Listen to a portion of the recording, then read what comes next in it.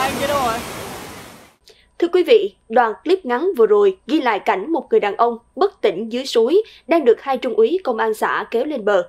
Thông tin vụ việc đã được đại diện Công an tỉnh Lai Châu chia sẻ với phóng viên báo Thanh niên tối 29 tháng 7 năm 2024. Cụ thể, chiều 27 tháng 7, tranh thủ lúc không có ca trực, Trung úy Lý A Chánh, cán bộ công an xã Ba Khóa, tại huyện Sìn Hồ, tỉnh Lai Châu và Trung úy Nguyễn Duy Khánh, cán bộ công an xã Nông Hẻo, tại huyện Sìn Hồ, rủ nhau sang xã Nậm Tâm, huyện Sìn Hồ, giao lưu thể thao. Khoảng 14 giờ 30 phút cùng ngày, khi qua khu vực suối Nà Tâm, xã Nậm Tâm, hai trung úy nghe tiếng kêu cứu có người rơi xuống suối nên dừng xe chạy lại hỗ trợ. Thời điểm đó, anh Tao Văn Điến, 34 tuổi, trú xã Nằm Tâm, vừa đi qua suối thì bị trượt chân ngã, đầu đập vào đá và đang chìm dần xuống nước. Do khu vực này nước sâu, chảy xiết nên mọi người không dám xuống cứu. Trước tình huống cấp bách, hai trung úy công an đã nhảy xuống suối và phát hiện anh Điến đang trong trạng thái bất tỉnh dưới đáy suối nên kéo nạn nhân lên và đưa vào bờ. Nạn nhân sau đó được hai cán bộ công an cùng nhân dân sơ cứu, hô hấp nhân tạo đến khi tỉnh, rồi bàn giao cho người thân đưa về chăm sóc. Sau khi hồi phục sức khỏe, gia đình anh Tao Văn Điến đã mời hai cán bộ công an đến nhà cảm ơn. Tại gia đình, anh Điến viết thư cảm ơn hai trung úy công an không ngại hiểm nguy, dũng cảm, lao xuống suối cứu mình.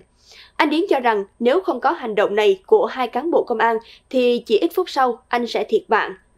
Và một vấn đề nữa là sau khi trùng tu thì cái yếu tố vững bền cho di tích lần này là chắc chắn nó sẽ tồn tại được rất lâu. Còn cái việc mà màu sắc thì cũng đã làm theo đúng cái hồ sơ nghiên cứu rồi. Nhưng dĩ nhiên là mới sơn mới phát thì nó phải tươi mới thôi. Sau hơn một năm rưỡi rào kín trùng tu, diện mạo mới của chùa cầu, một trong những biểu tượng của phố cổ Hội An tại tỉnh Quảng Nam, khiến dư luận có phần bất ngờ và nhiều ý kiến khen chê. Những mái ngói âm dương mới và cũ xen kẽ, hoa văn trên mái cũng được làm mới. Và nhìn từ trên cao, giữa hàng trăm căn nhà cổ kính, thì chùa cầu như một điểm nhấn mới mẻ. Dự án trùng tu chùa cầu đã hoàn thành và sẽ đưa vào khánh thành vào chiều ngày 3 tháng 8 năm 2024 nhân sự kiện giao lưu văn hóa Hội An, Nhật Bản. Trước thêm khánh thành, bên cạnh những ý kiến cho rằng màu sơn mới đã khiến chùa cầu bớt cổ kính, thì cũng có nhiều người khen công trình sau trùng tu vẫn giữ được nguyên bản gốc. Chắc là không bản cũ rồi. À, nếu như ông công nhận ngày xưa giờ ông có thấy cái cũ ông cái thấy hắn chùa cầu cổ kính đây. À, bây giờ chuyển xuống cấp thì phải lột lại chắc chắn phải mới.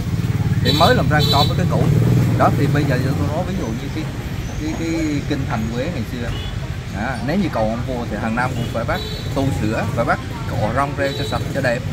À, để cho nó, rong rêu mới cũ thì là là là là là là, là, là, là khiển trách là phật là đem ra đem ra chén. Tôi nói ví dụ. À, thì bây giờ chị người ta đặt người ta làm mới người ta sửa lại người ta làm cho mới lên thì ông lại nó không đẹp bằng cái cũ. À, thì cái đó không phải chấp nhận được rồi đúng không? Làm mới thì bây giờ nó cũng phải mới. À, mới thì phải đẹp hơn cái cũ. Còn muốn cho cũ thì thời gian mình xuống cấp thì mới rong reo. Mình nên có một cái cái nhìn nó thân thiện hơn. À, với những cái thiện chí của những cái chính quyền và những cái người dân, những người mà muốn bảo tồn những cái nền văn hóa của dân tộc, những người mà muốn là trùng tu lại vì trong cái sự làm mới này thì người ta cũng có những cái sự, cái cái sự đóng góp, sự trùng tu để mà bảo tồn lại cái cái cái bảo tàng của cái văn hóa dân tộc. Thì mình thấy là mình ủng hộ với cái điều này theo ông Nguyễn Văn Sơn, Chủ tịch Ủy ban Nhân dân thành phố Hội An, di tích chùa cầu đã trải qua 4 thế kỷ cùng sự biến thiên của lịch sử xã hội. Dù đã nhiều lần trùng tu, sửa chữa, nhưng trước sự bao mòn của thời gian cùng nhiều tác động, di tích này đã xuống cấp nghiêm trọng. Chính vì thế mà việc trùng tu chùa cầu được thực hiện trên tinh thần như một cuộc giải phẫu, chữa bệnh. Và để chuẩn bị cho cái việc trùng tu nó thì thành phố cũng làm rất kỹ nên biết là 4 năm năm trời tổ chức rất nhiều hội thảo khoa học trong nước và quốc tế. Trong quá trình trùng tu thì mình cũng đảm bảo đầy đủ các cái nguyên tắc. À, thứ nhất là cái nguyên tắc công khai minh bạch. Cái việc trùng tu đã tuân thủ đảm bảo giữ tối đa cái yếu tố gốc. Cả những cái viên ngói mà có thể giữ lại được tất cả những cấu kiện gỗ mà còn có thể dùng được dù có một đoạn thôi là đều được um, giữ lại hết. Đánh dấu cấu kiện bố trí trở lại hết. Cho nên trong công trình là các yếu tố gốc là là, là, là giữ lại tối đa nhất có thể Trước khi dự án trùng tu được triển khai, vào năm 2019, chùa cầu đã xuống cấp nghiêm trọng, phải tiến hành chống đỡ mố cầu, trụ cầu. Nhiều cột và keo có dấu hiệu bị hư hỏng, lượng khách qua lại cũng phải giới hạn từng đợt. Ông Nguyễn Văn Sơn cho biết, mọi hoạt động trong dự án trùng tu chùa cầu đều cẩn trọng, tỉ mỉ, bài bản, khoa học, từ khâu chuẩn bị dự án đến các giải pháp tổ chức và kỹ thuật thi công tu bổ di tích, nhất là việc thu thập, nghiên cứu thông tin, tư liệu, thám sát địa tầng, phân tích dấu vết kiến trúc qua các thời kỳ, tham vấn chuyên gia, nhà nghiên cứu, nghệ nhân đối với những vấn đề phát hiện mới, vướng mắc nảy sinh.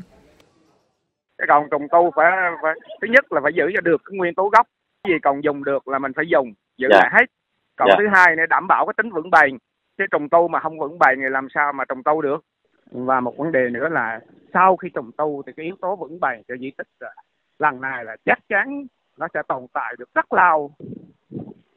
Còn cái việc mà màu sắc thì cũng đã làm theo đúng cái hồ sơ nghiên cứu rồi. Nhưng dĩ nhiên là mới sơn mới phát thì nó phải tươi mới thôi. Nhà nghiên cứu văn hóa Tôn Thất Hướng tại tỉnh Quảng Nam cho biết, ông đánh giá cao dự án trùng tu di tích trụ cầu khi đã hoàn thành nhưng vẫn giữ được yếu tố gốc như kết cấu gỗ, con giống mái, kỹ thuật về xây dựng lắp mái và chạm khắc. Theo nhà nghiên cứu, màu sắc mới và sặc sỡ sau khi trùng tu là không thể tránh khỏi. Nhưng vài năm sau, khi trải qua mưa gió thì màu sắc sẽ chuyển đổi, giảm bớt tông màu, nó là nhìn mềm mại hơn, cổ kính như xưa. Báo cáo của thành phố Hội An và thực tế tại di tích chùa cầu hiện nay sau khi trùng tu cho thấy, thành phố đã thực hiện đúng như thiết kế dự án đã được phê duyệt và đảm bảo các quy định pháp lý về trùng tu di tích. Trước những ý kiến trái chiều về diện mạo mới của di tích, ông Nguyễn Thanh Hồng, Giám đốc Sở Văn hóa Thể thao và Du lịch tỉnh Quảng Nam cho rằng, việc dư luận, nhiều người quan tâm có ý kiến khác nhau về kết quả trùng tu chùa cầu là việc rất bình thường. Qua đó cho thấy rất nhiều người yêu mến chùa cầu. Ngành văn hóa và thành phố Hội An luôn cầu thị, lắng nghe, tiếp thu, tham khảo để công tác trùng tu các di tích nói riêng và công tác bảo tồn và phát huy giá trị các di tích tại Hội An cũng như trên địa bàn tỉnh được tốt hơn. Ngày 29 tháng 7 năm 2024, ông Nguyễn Văn Sơn cho biết, sau khi tiếp thu ý kiến từ người dân và du khách, thành phố quyết định chỉ đạo đơn vị thực hiện trùng tu chùa cầu, tức Trung tâm Quản lý Bảo tồn Di sản Văn hóa Hội An, xử lý lại màu sơn. Theo đó sẽ xử lý lại màu nhạt hơn so với màu đỏ phía trước và sau chùa cầu, còn bên hông sẽ sơn lại màu sẫm hơn so với màu trắng hiện tại.